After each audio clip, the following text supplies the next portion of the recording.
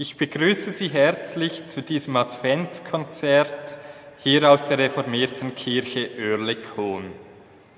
Bei der Vorbereitungszeit für Weihnachten und auch schon in der Adventszeit war und ist es für uns Musiker schwierig, dass wir Ihnen überhaupt etwas bieten können.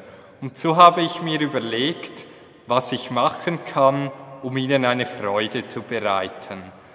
Und so habe ich mir überlegt, dass ich Ihnen einfach Advents- und Weihnachtslieder spiele, Orgelklänge in Ihre Stube bringe und diese mit dem Text unterlege, dass man diese sogar zu Hause singen kann.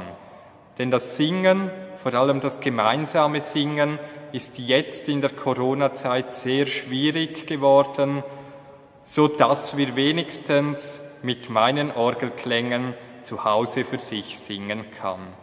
Und so hoffe ich, dass ich Ihnen mit meinem Konzert ein schönes Weihnachtsgeschenk machen kann und wünsche Ihnen viel Vergnügen bei diesem Konzert.